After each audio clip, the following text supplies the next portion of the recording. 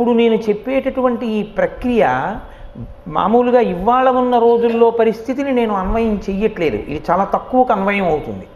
పూర్వం గురువుగారి ఆశ్రమానికి వెళ్ళి విద్యార్థులు చదువుకునేవారు. అప్పుడు గురుపత్ని అన్నం పెడుతుంది వీళ్ళకి.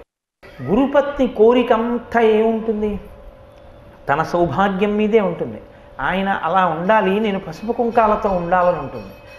కాబట్టి గురువుగారి యొక్క ప్రాణరక్షణ కొరకు గురువుగారిని రక్షించుకోవడం కొరకు చేసేటటువంటి శుశ్రూష గురుపత్ని యొక్క అనుగ్రహానికి కారణమవుతుంది. గురుపత్ని యొక్క అనుగ్రహం గురువుగారి అనుగ్రహంతో సమానమే. కాబట్టి పూర్వం అంత జాగ్రత్తగా అనువర్తించడం అనేటటువంటిది లోకంలో ఉండేది. నన్నయ్య గారు మహానుభావుడు భారతాన్ని ఆంధ్రీకరిస్తూ ఉదంకోపాఖ్యానాన్ని ప్రారంభం చేస్తూ ఆయన ఒక మాట అన్నారు. పైలుడి దగ్గర శిష్యరికం చేసేటటువంటి ఉదంకుడు గురువుగారి దగ్గర పాఠాలు నేర్చుకున్నాడు. పైలుడు ఏం చెప్పాడు? ఉదంకుడు ఏం నేర్చుకున్నాడు? దాని గురించి చాలా అందమైన పద్యం ఒకటి చేస్తూ గురుకులమునందు గురులకు పరిచర్యలు నర్చి తానపరిమిత నిష్ఠాపరుడై జ్ఞానము వడసెను. గురుదయ అణిమాది కాష్టగుణములతోడన్ ఆయన ఎలా చదువుకున్నాడో చెప్తున్నారు. గురువుగారి దగ్గర చదువుకోవడం అంటే గురువుగారు ఏమైపోయినా పర్వాలేదని చదువుకోవడం కాదు. గురువుగారి దగ్గర నేర్చుకోవడం అంటే అలా ఉండాలి వినయం. గురుకులమునందు గురులకు పరిచర్యలు నర్చి గురువుగారికి సేవ చేస్తూ గురుపత్నికి సేవ చేస్తూ గురువుగారి ఆశ్రమమునందు సేవ చేస్తూ. అసలు ఆశ్చర్యకరమైన విషయాన్ని ఒకదాన్ని శాస్త్రం ప్రతిపాదన చేస్తుంది. గురువుగారి ఇల్లు దేవాలయము ఉంది శాస్త్రం. దేవాలయములోనికి మీరు ఎప్పుడు పడితే అప్పుడు వెళ్ళడం కుదరదు. ఎలా పడితే అలా వెళ్ళడం కుదరదు. దేవాలయ తుల్యమైనటువంటి గురువుగారి ఇంట్లోకి మాత్రం ఆర్తితో ఉండి కూడా ప్రవేశించవచ్చు. కానీ గురువుగారు ఇబ్బంది పడేలా మాత్రం అస్తస్తమానం గురువుగారి ఇంటికి వెళ్ళి ఇబ్బంది పెట్టకూడదు. నేను మీకు యథార్థం చెప్తున్నాను. నాకు అన్నిటికన్నా జీవితంలో చాలా భయమైన విషయం మా గురువుగారి ఇంటికి వెళ్ళడమే ఇప్పటికీ.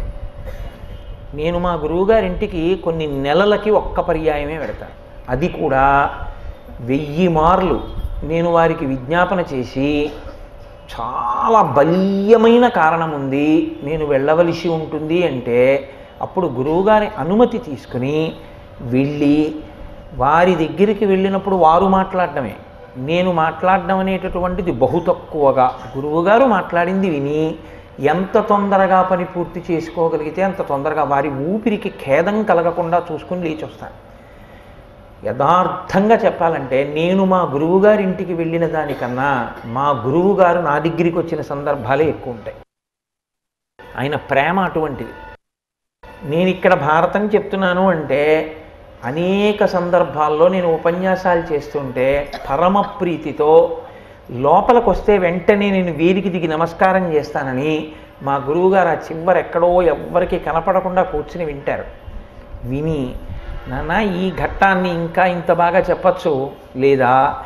ఇవాళ నువ్వు చెప్పిన దానివల్ల నా మనసు రంజిల్లిందిరా అని రాత్రి ఓ ఫోన్ చేసి చెప్తారు. ఆయనకి సంతోషం కలిగితే ఆయనే అకస్మాత్తుగా వస్తారు. గురువుగారి అనుగ్రహము అంటే గురువుగారు ఇబ్బంది పడకుండా చూడడంలోనే ఎక్కువ ప్రాధాన్యత ఉంటుంది. అదే గురు పరిచర్య అన్న మాటకు అర్థం. కాబట్టి గురుకులమునందు గురులకు పరిచర్యలు నర్చి తానపరిమిత నిష్ఠాపరుడై జ్ఞానము పడసెను నిష్ఠ ఆచార సంబంధము. గురువుగారి దగ్గర వింటే వచ్చేస్తుంది అనుకోవడం తప్పు. దానికి తగినట్లుగా ఆచరణాత్మకము కావాలి. ఆచరణ కూడా ఉండాలి. ఆచరించి చూపించాలి. గురువుగారు ఏం చెప్పారో దాన్ని త్రికరణ శుద్ధిగా ఆచరణ చేస్తే గురువు విశేషమైనటువంటి తృప్తిని పొందుతారు. అలా చెయ్యడం వల్ల గురువుగారి యొక్క అనుగ్రహం కలిగింది ఉదంకుడికి. కలిగితే ఏమైంది? అణిమాదికాష్ట గుణములతోడన్ ఆయన విద్యలు నేర్చుకున్నాడు. దాంతోపాటుగా అణిమ గరిమ లఘిమ ఇటువంటి అష్టసిద్ధులు కూడా ఆయనకు వచ్చేసాయి ఆయన అనుకుంటే గాలిలో వెళ్ళిపోగలడు.